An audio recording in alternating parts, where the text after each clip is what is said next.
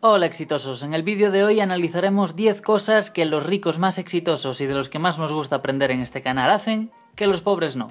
Si al finalizar te has dado cuenta de que tú estás siguiendo estos puntos, perfecto. Si la riqueza es tu objetivo, vas por buen camino. Y si todavía no has visto resultados, no te preocupes. Pronto los verás. Si estos puntos están muy alejados de tu estilo de vida en este momento, perfecto porque ya sabrás qué puntos debes cambiar si tu objetivo es mejorar tu calidad de vida. De todas formas, el simple hecho de que estés viendo este vídeo significa que te preocupas por mejorar y eso es muy bueno. Vamos allá. Una de las cosas principales que los ricos hacen y los pobres no es que no se conforman con la educación que reciben en la escuela o en su casa. Si a la escuela a la que vas tu profesor no ha alcanzado un gran éxito, no podrá enseñarte cómo alcanzarlo. Y en tu casa pasará lo mismo. Tu familia básicamente y cualquier persona con la que te rodees no podrá enseñarte cómo alcanzar riqueza si ellos mismos no la han alcanzado. Y la razón es muy sencilla. Nadie puede enseñarte conscientemente algo que no sabe. Muchas de las personas más ricas y exitosas son autodidactas y se preocupan por sí mismos de buscar información que les lleve a obtener propias conclusiones. Mirad por ejemplo el vídeo que tenemos dedicado a Warren Buffett. Él dice que lee muchas horas al día y que ojalá pudiese leer más rápido. Así que hazte esta pregunta. ¿Cuánto tiempo a la semana pasas educándote? Esta búsqueda constante de información les lleva generalmente a buscar mentores que sí puedan ayudarles a llegar donde quieren llegar, porque estos mentores ya están o ya han pasado por ahí.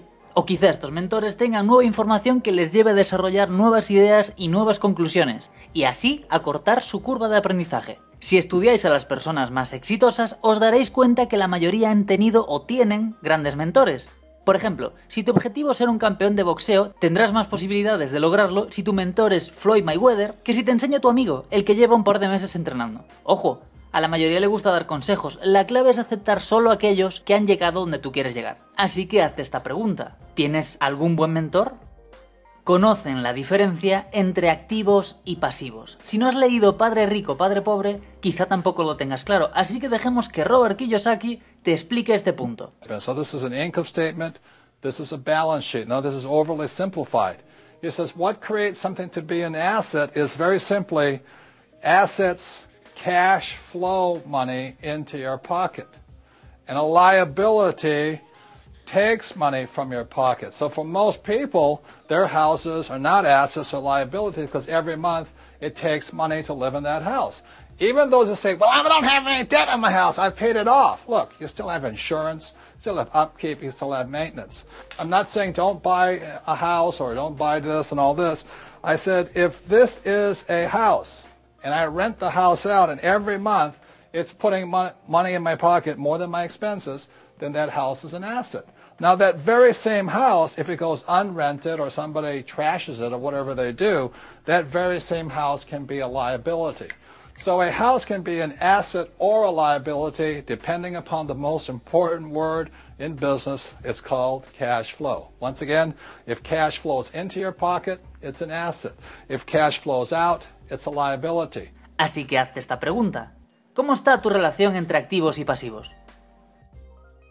Las personas ricas y exitosas se preocupan por generar varias fuentes de ingresos o activos que no dependan exclusivamente del tiempo que dedican. Y la razón es muy simple, ya que si tú trabajas solamente intercambiando tu tiempo por dinero, siempre tendrás un límite, porque no puedes trabajar 26 horas al día. Pero si generas varias fuentes de ingresos que tengan un potencial exponencial, que no dependan del intercambio directo de tiempo para generar beneficio, la cantidad de ingresos que obtienes se puede multiplicar muchísimo más. Un par de ejemplos rápidos son la creación de diferentes empresas, la inversión en los mercados financieros, ya que tienen un potencial exponencial y puedes ganar una cantidad mayor invirtiendo el mismo tiempo. Otro ejemplo podrían ser escribir libros, lo cual también es una muy buena opción, y estos son solo unos pocos ejemplos rápidos. Ojo, no hemos dicho que el camino al éxito y a la libertad financiera sea fácil, pero vivir preocupado por las facturas tampoco lo es. Si analizamos a la media de las personas, veremos que solamente tienen una fuente de ingresos, que es su trabajo que está limitado por el tiempo al que le dedican, que generalmente no tiene un beneficio exponencial y donde si éste falta por cualquier motivo, la persona tiene un gravísimo problema, porque literalmente ya no tiene ninguna fuente de ingresos. Y en el mundo en el que nos movemos, el dinero es absolutamente fundamental. Así que hazte esta pregunta. ¿Cuántas fuentes de ingresos tienes? Esto nos lleva al siguiente punto. Los ricos más exitosos compran estratégicamente porque tienen un gran control de sus activos y sus pasivos. No comprarán nunca algo que desbalancee la relación entre ellos. Seguro que conocéis a la típica persona que sin ahorros y con su primer sueldo se empeña para comprar un bonito coche. Esta persona piensa, bien, tengo trabajo, me pueden dar un préstamo para el coche, por lo que en dos años ya lo habré pagado y será mío. Analicemos rápidamente lo mala que es esta decisión.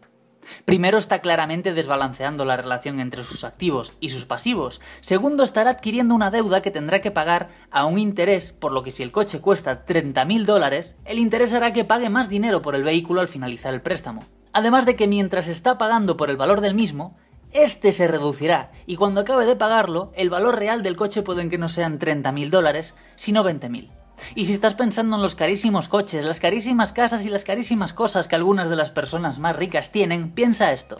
Primero, puede ser que simplemente puedan pagarlos porque no desbalancea sus activos. Segundo, quizá no lo están pagando y lo están alquilando. Tercero, quizá estas compras simplemente son activos, aunque no lo comprendas. O simplemente están realizando malas operaciones financieras y la están cagando. Si os dais cuenta, muchos ricos han desbalanceado sus activos y sus pasivos y al final se han arruinado. Atentos a este consejo. Cash on delivery. Why not? First piece of free advice. You gotta listen. Y'all make millions. Never buy depreciating asset. Okay? If it drives, flies, floats, or fucks, lease it. Recuerda que puedes tener esclavitud financiera si ganas 500 mil dólares al mes y no controlas la relación entre tus activos y tus pasivos. Y puedes tener libertad financiera si ganas 2.000 al mes, pero sí lo haces. Así que hazte esta pregunta. ¿Compras estratégicamente? Tiene mucho que ver con el punto anterior. Si os fijáis en las personas que están más cerca de la esclavitud que de la libertad, suelen hablar solamente de ingresos mientras pasan por alto sus gastos, y suelen decir cosas como gano X al mes o hemos ganado tanto. Piensa esto. ¿Quién está más cerca de la libertad financiera? ¿Una persona que gana 5.000 dólares al mes pero gasta 4.900? ¿O una persona que gana 1.000 pero gasta 500? Recuerdo que tenía un socio que era así. Solía decir, hoy hemos hecho 300 dólares, hoy hemos hecho 900 dólares. Lo cierto es que habíamos estimado que necesitábamos obtener una media de unos 500 dólares al día para mantener toda la empresa, y en realidad en esos días respectivamente habíamos perdido 200 dólares y habíamos ganado solamente 400. Como mi ex socio, seguro que conocéis a muchas personas así, y son los conocidos como cuñados financieros. Así que hazte esta pregunta. ¿Piensas en beneficios brutos o en beneficios netos?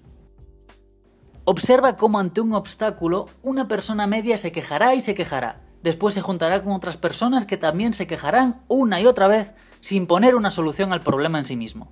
Una persona rica financiera y mentalmente, así como Jack Ma, ante un obstáculo no ve un problema, ve una oportunidad. Así que hazte esta pregunta. ¿Qué es lo que tú más haces? ¿Quejarte sobre tus problemas o buscarle solución? Una de las razones por las que los ricos lo son es porque lo que ofrecen es un gran valor por algo. No simplemente dan más tiempo. Piensa esto.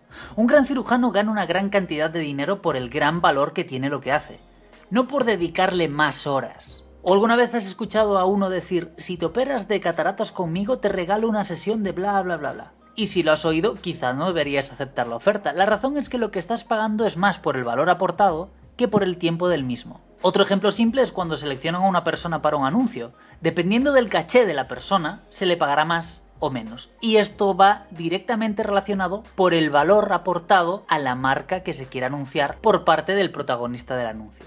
Así que hazte esta pregunta. ¿Qué habilidad o habilidades tienes tú para ofrecer que aporten valor a otros? Venderse es fundamental. Las personas ricas no temen promocionarse a sí mismos. Si tienen una habilidad o un conocimiento, no dudan en decirlo y en valorarlo. Conozco muchas personas que deberían tener mucho más éxito del que tienen, pero por no venderse a sí mismos, simplemente no es así. Una persona pobre, financiera y mentalmente puede restarle valor a una cosa a la que una persona rica no lo hace. Así que hazte esta pregunta. ¿Cómo te vendes? El punto número 10 es que se rodean de otras personas exitosas.